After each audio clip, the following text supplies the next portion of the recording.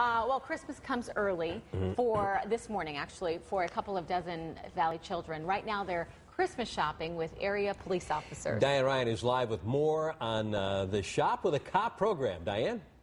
And that's right. Good morning. I am surrounded by cops this morning and also little shoppers here as well. who are in the Target store right off 19th Avenue and Bethany Home Road. And look who's with me this morning Santa dressed in blue. How And- you guys doing? Oh, everyone's doing great, but we see you're in blue today. Yes, I decided to uh, change my uh, red to blue because of the fellow police officers here for the city of Phoenix. I thought I'd match them today. Oh, and everybody looks really nice today. And we're here because uh, kids, kids are shopping with cops this morning. And uh, with me is little Christopher. And tell me a lot, some of the things that you got here. I know a lot of them are wrapped up. Um, some of the things I bought were just some presents for my family, like for stuff I got bought for me. I bought some like Nerf things and maybe some like little Lego things, as you can see here. Uh-huh. I also And bought this. you bought that.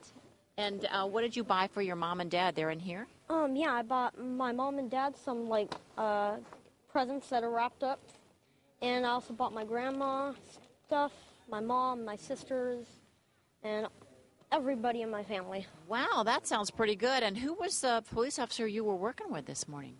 Um, I was working with this uh, nice gentleman here. Oh, come on over here. So, how did you help him out? Uh, Uh, we walked around and uh, he decided to get presents for his family, and uh, I tallied up the, the prices for him.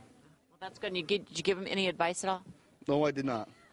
No, I did You not. just let them pick it out of stuff. So, absolutely, that's probably a good idea. And uh, Tessa's with me too, and you've got all kinds of things here, including a stuffed animal. Yeah, um, basically all I got was like stuff for my family and for myself, like this pillow pet because it's my first one, and I really like unicorns. It's a, a practical joke with me and my friends, and I was just really grateful to be able to come here today and um, experience all this. Well, that's great. And with me right now is Officer Holmes. And uh, tell me a little bit about this program. Uh, we've we've seen it around town, uh, around the valley for a while, but this is something new for you guys. This is the first time Diane at Phoenix Police Department has done their own shop with a cop. And actually, they put this thing together in about a month and a half. And we're talking about raising funds, finding the venue. Of course, you know, you got to give big kudos to Target for helping us out today. Yeah, and it was really cool to have Santa coming here in the helicopter. That was amazing. As a matter of fact, no one was more excited when that helicopter landed than I was. I just thought that was really cool. That was pretty cool. And we were talking about uh, the kids get two hundred dollars, and, and and you were saying that that's that's raised uh, among uh, police officers and also Target as well. From Target, from the Phoenix Law Enforcement Association through fundraising so that these kids can come out and have a good time today. Yeah, and it looks like uh, all the officers uh, seem to be pretty happy about this. How did the kids get picked? Well, actually, it's based on a few things with the children. All of these are community action officers, or most of them, so they're very involved with the schools. And these children have to have a pretty good academic rating.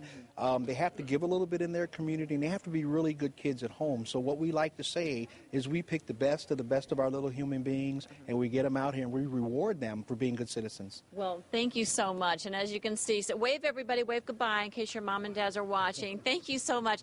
And uh, this was a great day for them, of course, and, uh, and they're going to have a wonderful Christmas because of this as well. Okay. And Diane's got her badge as well on.